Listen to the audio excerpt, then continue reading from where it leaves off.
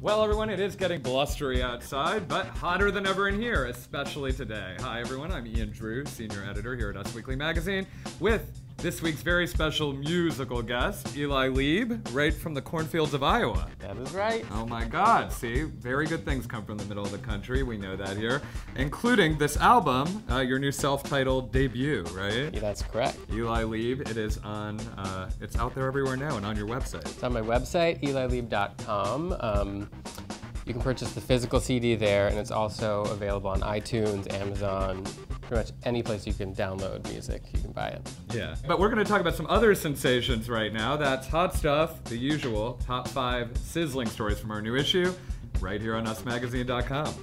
First up, Teresa Giudice, The Reunion Fallout. Now, I've heard you haven't watched The Reunion of I Real have not. I have New it Jersey yet. TiVoed, and I'm very anxious to see it. All right, I don't want to spoil too much, but it's very heated. I would imagine. she she did some heated stuff this season. Yes, and no one is speaking to Teresa now. A source says Carolyn is done with her, that there is too much water under the bridge to go back to it again, and uh, I feel like with her, even if you're like on her best terms, you're still walking on thin ice.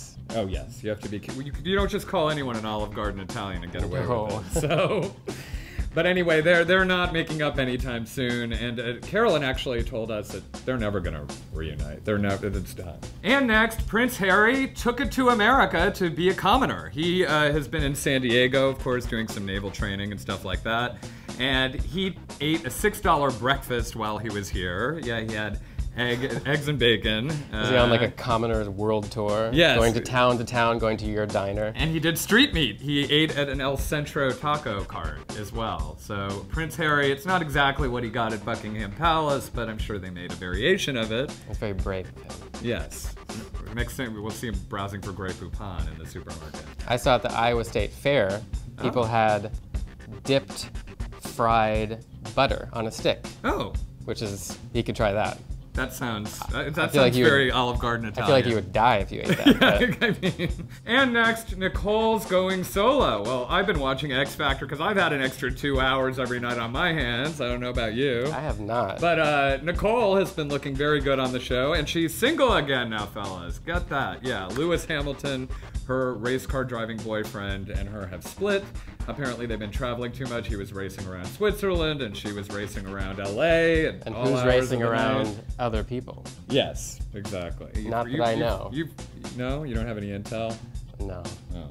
I don't even know who he was until you said he's a race car driver. Oh, And next, uh, NSYNC reunites. Yes, at Chris Kirkpatrick's 40th birthday party. Who knew he'd be 40 now? I guess So are they boy bands now, or is it a man band? they're they're definitely not a boy band anymore. I don't know. They're a man band. he, he had some gray If hair under those uh, twirls that he had in his hair, I guess. I don't know that we didn't see. But Justin Timberlake and the whole group got together at his birthday party in Atlanta, in Orlando. But still, a source says this is not a full reunion, so don't get your panties up in a bunch yet. Speaking of reunions, I just saw Boyz II Men perform. Amazing. Amazing. Amazing. They still got it going on. Except the guy in the deep voice. He's gone, right? The one who, go, who would Yeah, there go- was one missing. Yeah, remember the I one who would was always go? missing. His whole job was to walk around with a cane and go, "Hey, baby, I love you." He's You like, know, he's the, like he's the whole- money. Yeah. And next, Chloe Grace Moretz. You know who she is? No. I don't either. But she was hanging out with Dianna Agron at the Frederick Fekkai Vogue event in LA uh, last week. And you can at least know what she looks like before you Google her to find out who she is because there's a picture in this week's VIP scene. So that's awesome. Yeah, great. And that's all the time we have left for this week. Uh, once again, I'm Ian Drew, senior editor here at Us Weekly Magazine, with YouTube sensation and Iowa singer Eli Lieb in the house. And uh, thank you for coming by. Thanks for having me. Absolutely, anytime. And you can catch out, you can catch his new album on his aptly named website, elilieb.com, and our new issue on newsstands now.